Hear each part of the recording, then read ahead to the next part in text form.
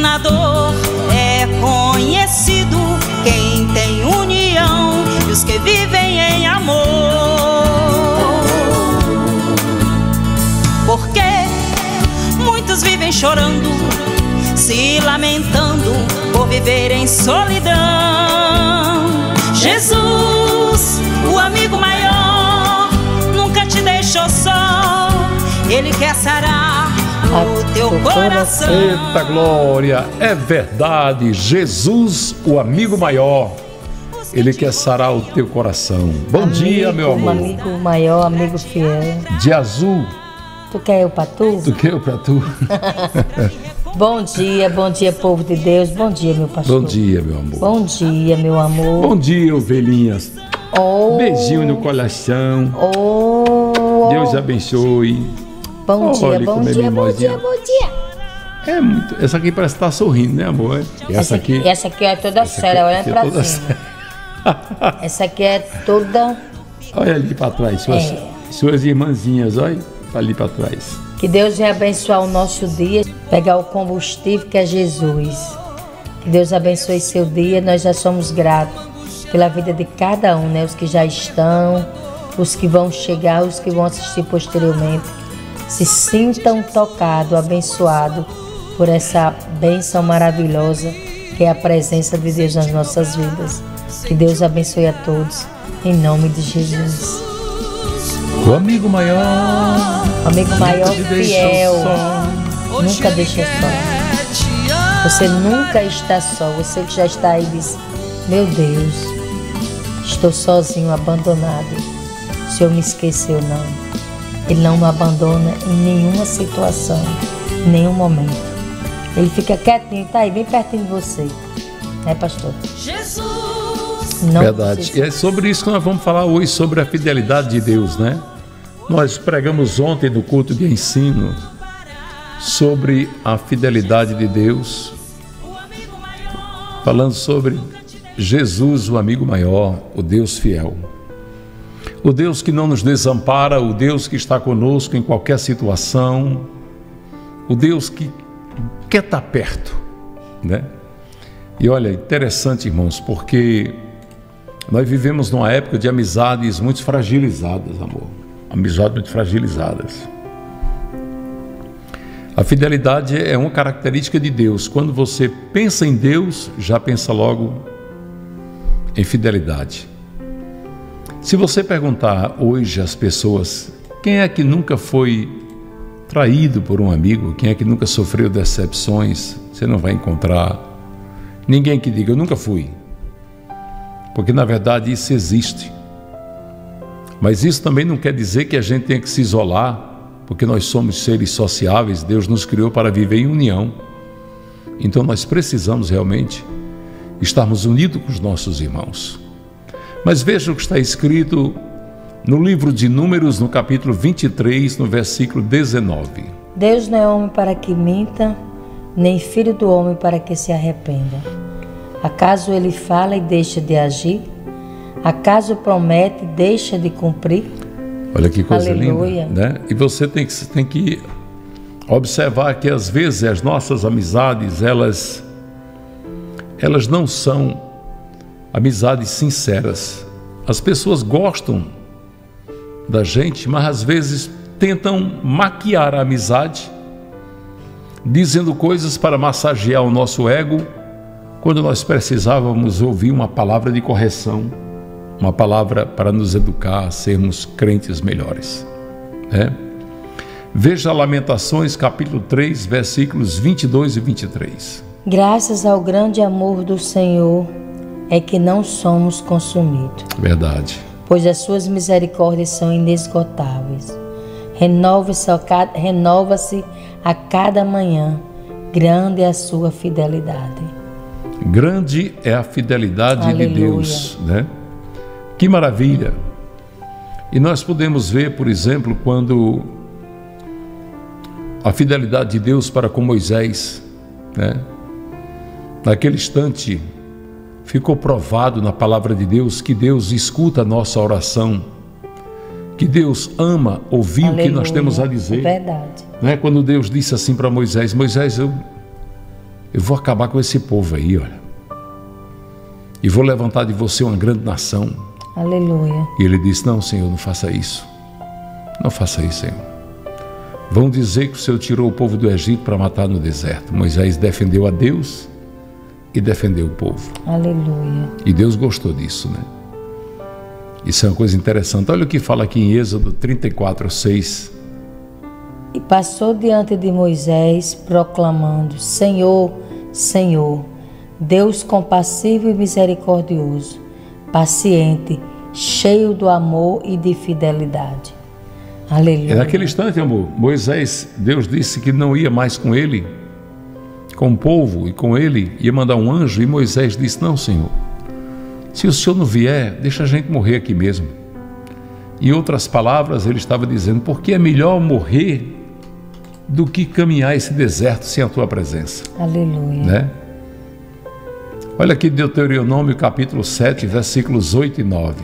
Mas foi porque o Senhor os amou e por causa do juramento que fez aos seus antepassados. Por isso ele os tirou com mão poderosa e os redimiu da terra da escravidão, Eita, do poder do Faraó, rei do Egito. Saibam, portanto, que o Senhor, seu Deus, é Deus, Ele é o Deus fiel, Aleluia. que mantém a aliança e a bondade por mil gerações daquele que o amam e obedece aos seus mandamentos. Aleluia. Que palavra maravilhosa, né? Que palavra abençoada Glória essa, Glória né? a Deus. Falando sobre a fidelidade de Deus, falando que Deus mantém aliança. Se Deus mantém a aliança por mil gerações, isso quer dizer que a aliança que Ele tem comigo, com a pastora Neto, terá com os nossos filhos, é com os nossos netos, bisnetos, tataranetos e por aí por diante, né? 2 Timóteo, no capítulo de número 2, versículos 11, 12 e 13. Esta palavra é digna de confiança, de morrermos se com morrermos ele. com se ele. Morrer com ele, com ele também viveremos. Se perseverarmos com ele, também reinaremos. Se o negarmos, ele também nos negará.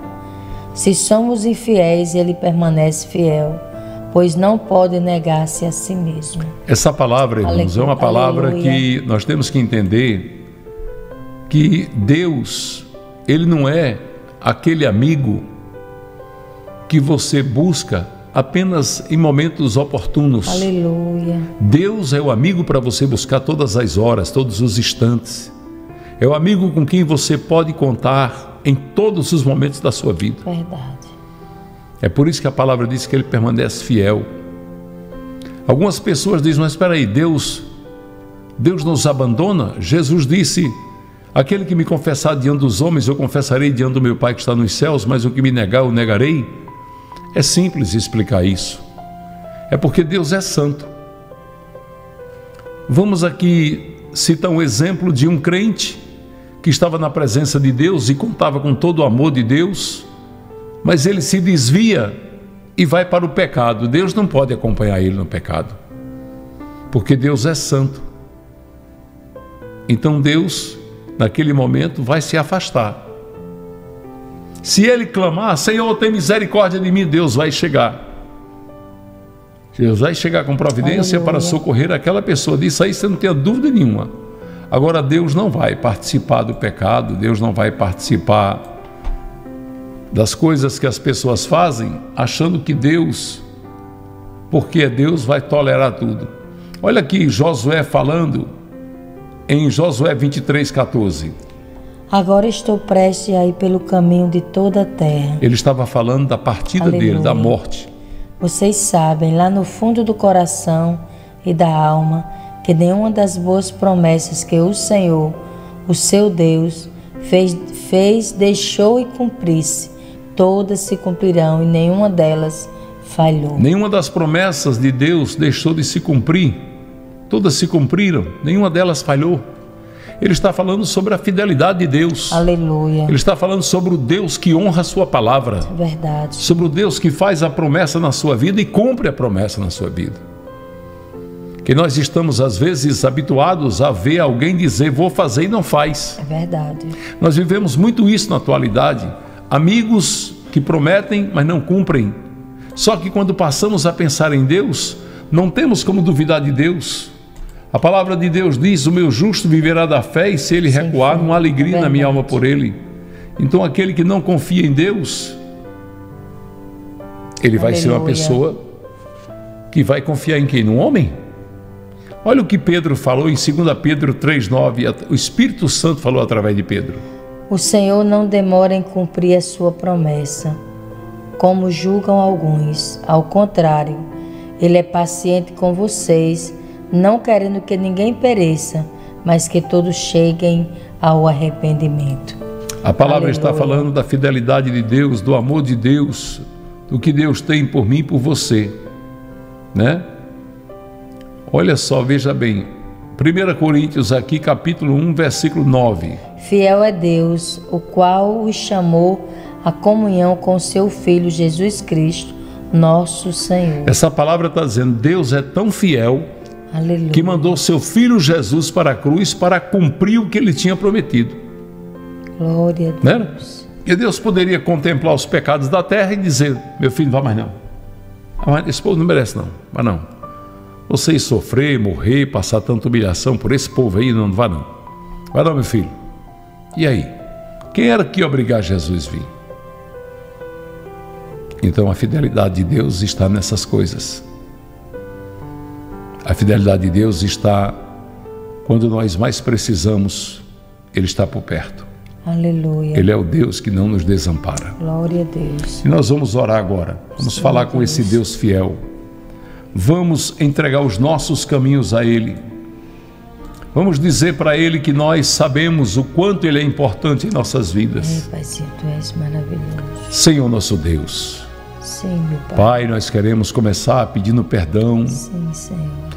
Perdão por ferir, por magoar teu coração.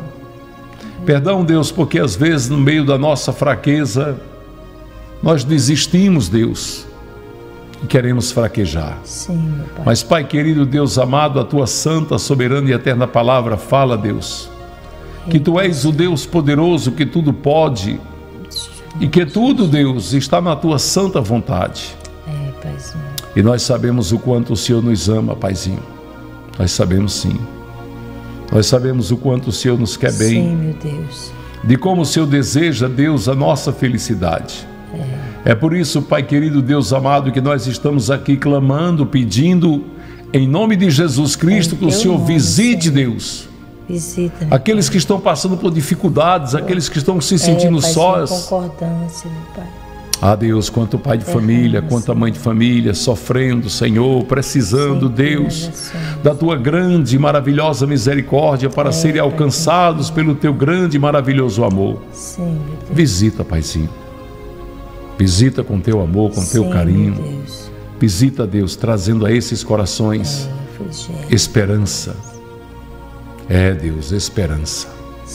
Teu povo precisa, meu Pai. Visita os doentes, sara as feridas.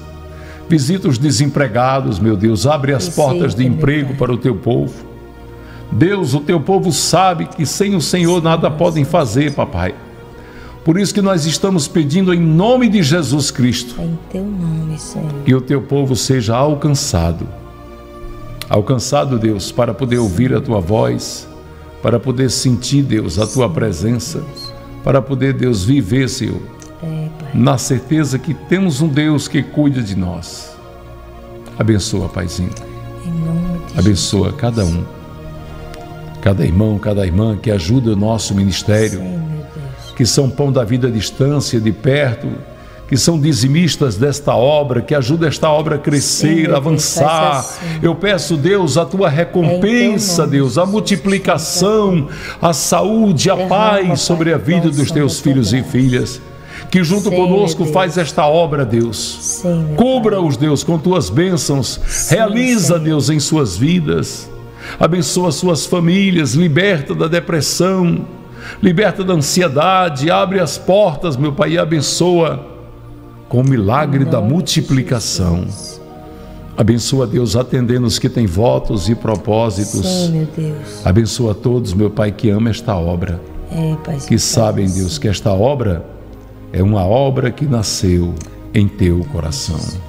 Assim agradecemos no nome, nome de, Jesus de Jesus. Cristo. Amém. Amém. Amém, Jesus. Glória a Deus. Glória, Louvado glória. seja o nome do Senhor. Muito bem, vamos fazer o nosso coraçãozinho. Tchan! Cheio do amor. Coraçãozinho cheio de amor por Jesus e Aí por ficou bem vocês. feitinho. Ficou bem feitinho agora, né? Obrigado, Fica queridos. Inscreva-se aqui no canal, dê o seu like, compartilhe com o maior número de pessoas comigo. possíveis.